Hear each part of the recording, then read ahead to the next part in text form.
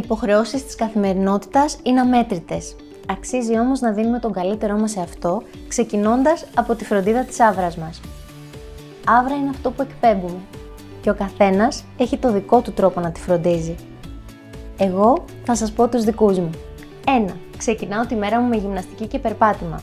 Η άθληση δεν βοηθάει μόνο το σώμα, αλλά και το πνεύμα. Μετράω τα βήματά μου και προσπαθώ να κάνω έως και 10 χιλιόμετρα περπάτημα. Τέλειο! 2. Ένα κρύο ντουζ κάθε πρωί είναι απόλαυση. Μου χαρίζει την ενέργεια που χρειάζομαι για να μπαίνω δυναμικά στους ρυθμούς της καθημερινότητάς μου. 3. Δεν ξεχνάω ποτέ να ενυδατώνω τον οργανισμό μου.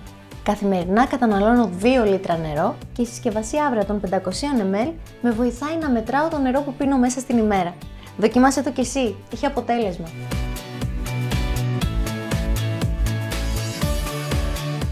Και 4.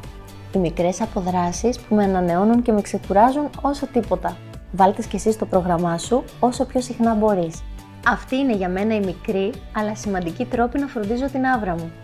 Και το καλύτερο, όσο περισσότερο τη φροντίζω, τόσο κερδίζω.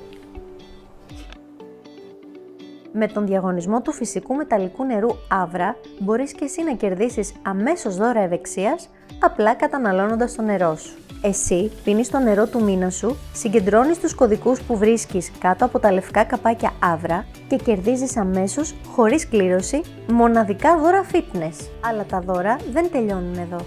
Όσα περισσότερα καπάκια συγκεντρώνεις, έχεις περισσότερες πιθανότητες να κερδίσεις ένα από τα 5 ταξίδια ευεξίας στο Blue Palace Luxury Collection Resort and Spa στην Κρήτη. Φρόντισε την άβρα σου, ενυδατώσου και κέρδισε αμέσως.